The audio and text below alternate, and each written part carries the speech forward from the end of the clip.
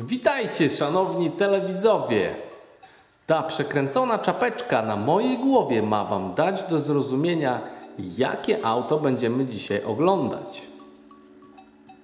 Tak więc od spodu na podnośniku Golf 4, ale to nietypowy Golf 4, bo wyposażony w silnik 1.8 20-zaworowy i napęd na 4 koła. Zapraszam do oglądania. Zaczynamy jak zwykle od tyłu. Tutaj niestety podtlenek gazotu i wlew wstydu. Standardowe wyposażenie każdego Golfa, które akurat nie jest w TDI. I jedziemy dalej. Jakichś problemów z korozją to te modele egzemplarze nie mają raczej.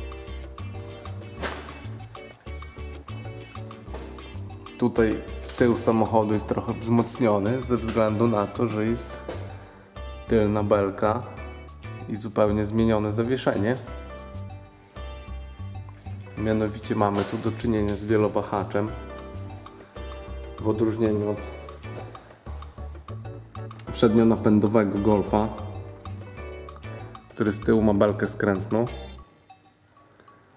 Tu mamy wahacze, całkiem sensowne rozwiązanie. Filtr paliwa. Tak wygląda cała oś tylna.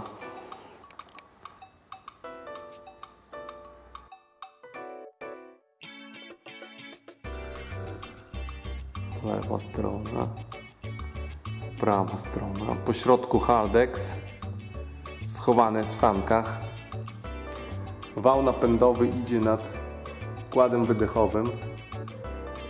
Tutaj w kilku miejscach osłonięty osłonami termicznymi, ale niestety nie w całości. Jest tutaj takie miejsce, gdzie wał jest nieosłonięty od katalizatorów i temperatura robi swoje. Jest tutaj całkiem mocno zgnity. W ogóle on wygląda jak rura wydechowa. Jeśli patrzę z spodu, myślę sobie, kurde, po co ta rura wydechowa dodatkowa? A to nie jest rura, to wał napędowy, który sobie po prostu skorodował. Ale wrócimy jeszcze do tyłu, bo jest tu kilka ciekawostek, o których chciałbym powiedzieć. Haldex wymyślili sobie producenci ciężarówek, żeby efektywnie przenosić napęd na dodatkowe osie i podchwycili to producenci z Wolfsburga.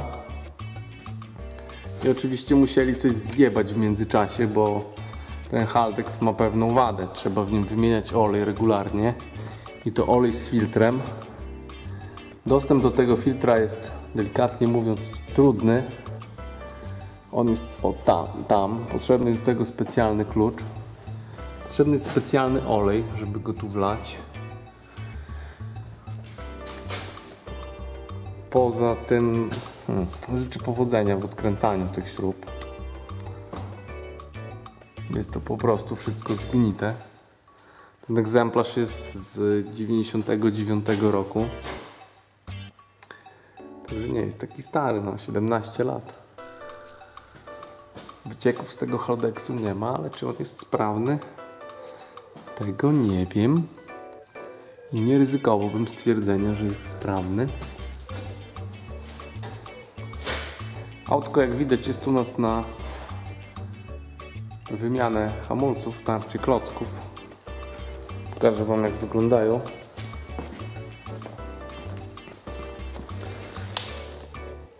Szrot, delikatnie mówiąc. Tył i przód. Inna kwestia, że samochód długo stał. Ale to to już jest śmietnik. Wszystko idzie won.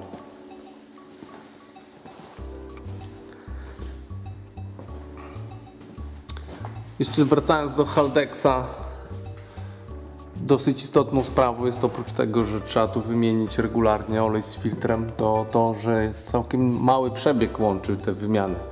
Producent zaleca chyba wymianę tego oleju z filtrem co 20 tysięcy. I mało kto o tym pamięta. Co skutkuje oczywiście, tam jest w środku pompa i pompa, która wytwarza ciśnienie, kiedy jest różnica momentu obrotowego między osią napędową a półosiami. I ta różnica powoduje wytwarzanie ciśnienia, które znowu ciśnienie ściska płytki napędowe i wtedy napęd, napęd się załącza. Dosyć proste rozwiązanie. Proste, ale nawet i to można zepsuć. W Hondach HR-V też jest stosowany Haldex, tylko że czysto mechaniczny, bez elektroniki i działa to super bezawaryjnie. HR-V i CR-V, z tego co pamiętam. Tutaj mamy tuleje tylnego wahacza różnego. Sprężyna, amortyzator tak sobie idzie śmiesznie pod skosem. Swoją drogą pocieknięty. Pomijając zgnitą belkę i śruby, ogólnie auto nie ma problemu z korozją. Progi są zdrowe. Podłoga wygląda dobrze.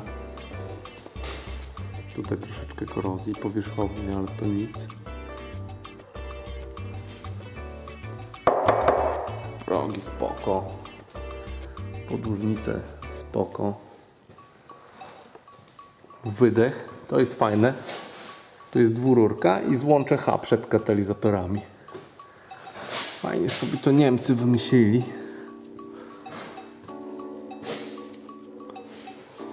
Tak zwane porty.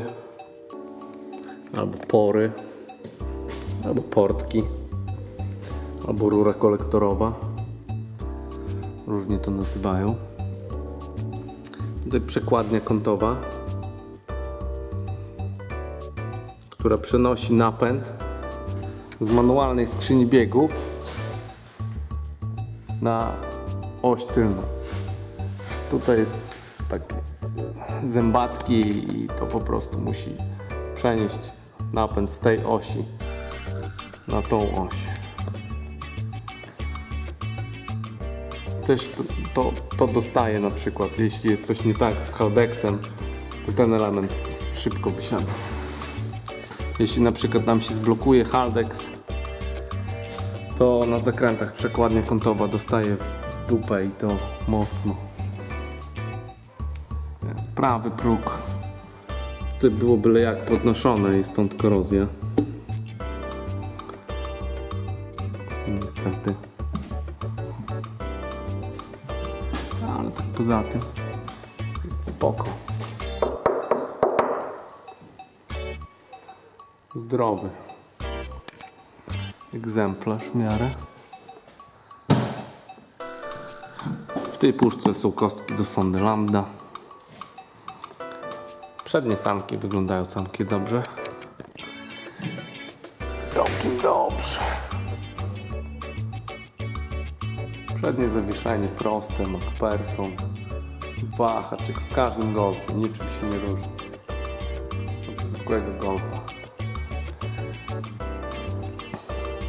Tutaj mamy misę olejową, która oczywiście była zmieniana na pewno niedawno. Bo w każdym golfie musiała być rozwalona o jakiś krawężnik. Tutaj mamy sobie wyciek ze skrzyni biegów. I to wszystko, nie ma tu nic. Nic z przodu nie ma nic, co by go odróżniało od zwykłego seryjnego golfa.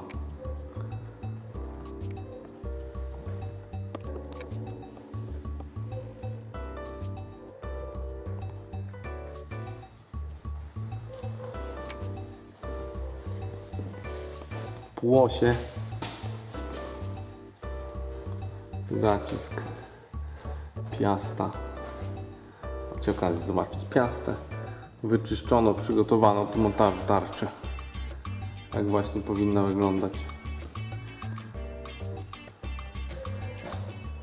Sprężyny chyba niedawno wymieniane.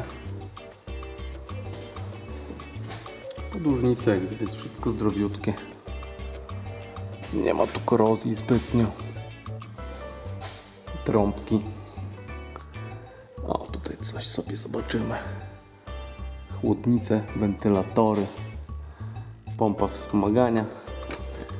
Rzecz, która lubi też się wysypać w każdym Schmelzwagenie. I nie tylko Schmelzwagenie.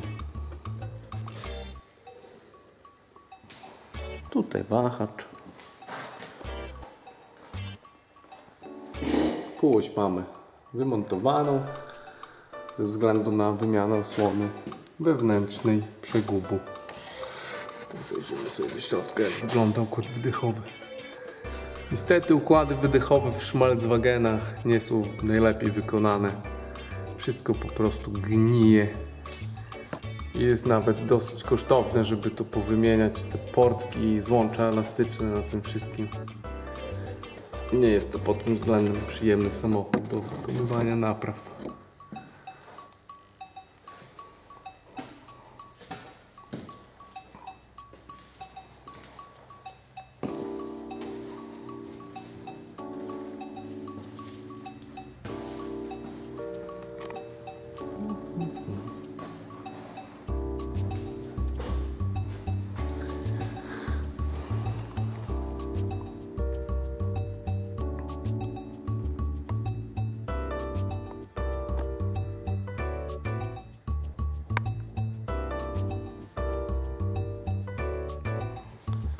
To tyle, jeśli chodzi o poczciwego golfika.